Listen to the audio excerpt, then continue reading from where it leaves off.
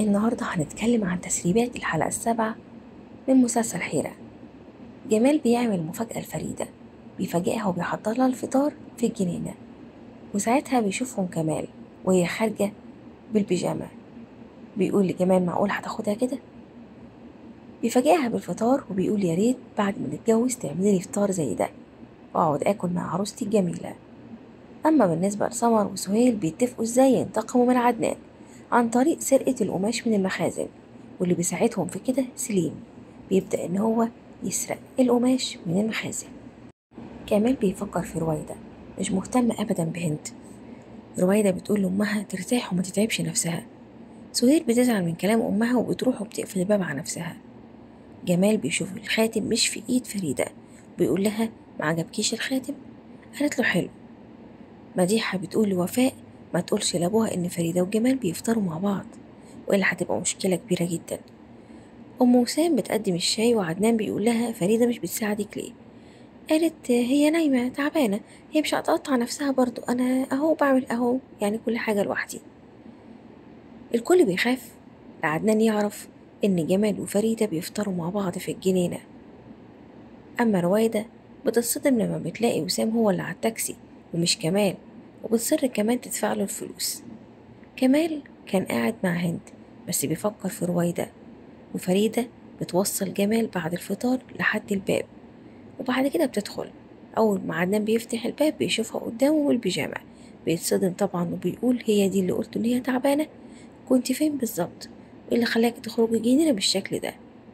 عدنان بيوبخ فريدة ويقول لها أنا مش هقولك كنت فين لكن هقولك إن البيت ده ليه قواعد لازم تحترميها. لازم تسمعي كلامي من هنا ورايح.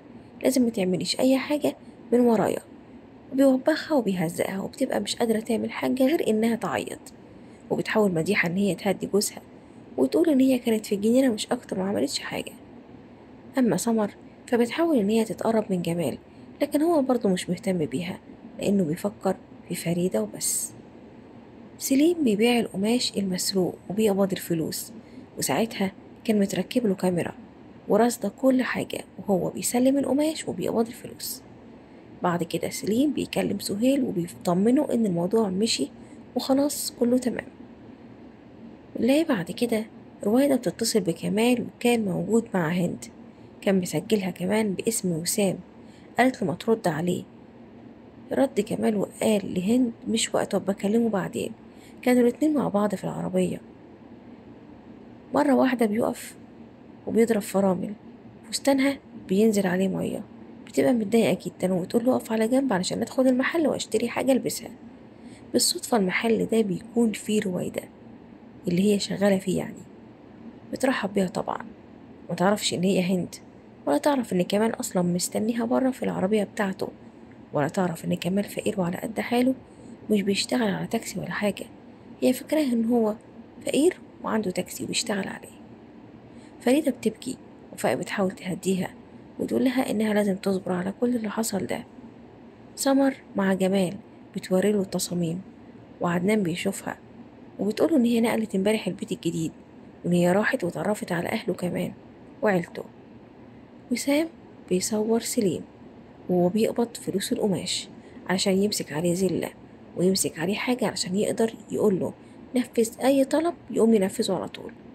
وساعتها بيوري الفيديو ده لسمر وبتفرح جدا طبعا لأن الخطة ماشية تمام. هند بتختار فستان بتزعق لرويدة مش بتعجبها حاجة أبدا من المحل. كمال بيتصل بعد كده بتقوله أنت سايق؟ طبعا هو ما يعرفش إن هند أصلا موجودة جوه عندها.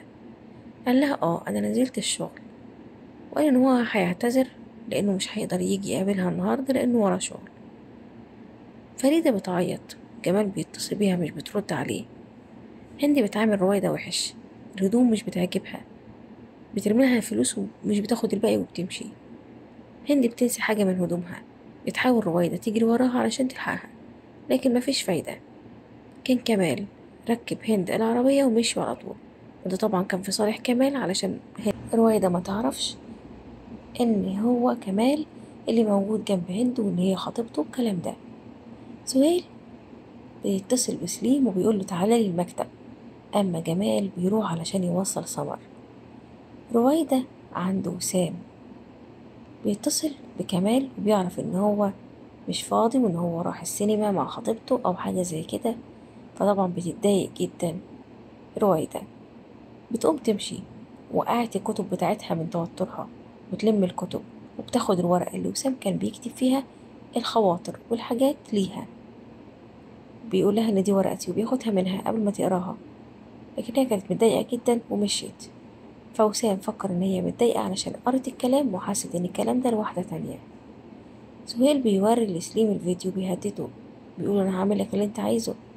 قال له خلاص أنا ممكن أنسى كل حاجة وأمسح الفيديو بس بشرط تعمل اللي أنا عايزه وتنفذه. قال له أنا ملكك اللي أنت عايزه هعمله. سمر بتتصل بجمال. وبتقول له إن هي سامعة أصوات من جوه البيت وخايفة جدا علشان يجي وتخليه يحبها وتبدأ تقرب منه. بيروح لها على طول. أما وسام بيفكر في رويدة ورويدة بتفكر تتصل بكمال وكمال بيسيب هند وبينزل علشان يروح ويقابل رويدة وسام فاكر إن رويدة مشيت علشان خاطر كانت زعلانة علشان شافت الرسالة. فكرت إن هي لحد تاني وإن هو بيحب حد غيرها علشان كده قرر يروح لها ويقول لها كل حاجة ويعترف لها كمان بحبه. بيروح فعلا وسام واللي كان فاكر إن رويدة مشيت علشان زعلانة من الرسالة. ويقول لها إن الرسالة دي صح وإنها مش لحد تاني إن الرسالة دي كتبها ليها فعلا. بيعترف لها إن هو بيحبها. جمال بيقعد يشرب القهوة مع سمر وساعتها لما بيلاقيها عايزة تقرب منه بيحاول يقفل في الموضوع ويقول لها إن هو بيحب فريدة وإن هي فريدة دي أحسن حاجة عنده. ما يقدرش يستغنى عنها ولا يسيبها في يوم من الأيام وإن هي عوضته عن حاجات كتير حصلت له في حياته. وسام بيعترف بحبه لرويدة وبيقول إن هو بيحبها يفتكر كمان ذكريات كتير بينهم. بيقول لها أيام ما كنا صغيرين وبيقول لها حاجات وذكريات حصلت بينهم زمان. رويدة قلبها بيتقطع مش قادرة تقول له أي حاجة. وسام بس بيحكي وبيعترف لها إن هو بيحبها جدا وإن كل كلمة قريتها في الرسالة كانت صح. هي أصلا ما قريتش رسالة ولا أي حاجة. هي ما أخدتش بالها لأنها كانت متضايقة من الموضوع كمان. علشان كده مش عارفة تقوله إيه. لما لقيته مصر على إنه يعترف لها بحبه ومنجرح في مشاعره. قالت له أنا بشوفك أخويا. أنا عمري ما فكرت فيك. وده اللي بيخلي وسام يتصدم. وبيسيب مكانه وبيمشي. أما بالنسبة لكمال بيروح علشان يتكلم مع رويدة بعد كده بيسمع كلام بينها وبين أمها بتقولها بتحبي كمال؟ قالت لها مش حب ولا حاجة. أعتقد إن ده مش حب لأنها طبعا كانت زعلانة جدا منه وفاكرة إن هو بيخدعها بسبب اللي حصل وبسبب اللي عرفته من وسام عن كمال. كمال لما بيسمع الكلام ده وإن هي مش بتحبه ولا حاجة كان ناوي يدخل جوه عند البيت ويتكلم معاها لكن للأسف مشي وما قدرش إن هو يدخل. والفيديو بتاعي بيخلص. يا رب يكون نال إعجاب ما تنسوش لايك واشتراك في القناة وتفعيل الجرس علشان يوصلكوا كل جديد. أحبكم كل شيء هواية. باي باي.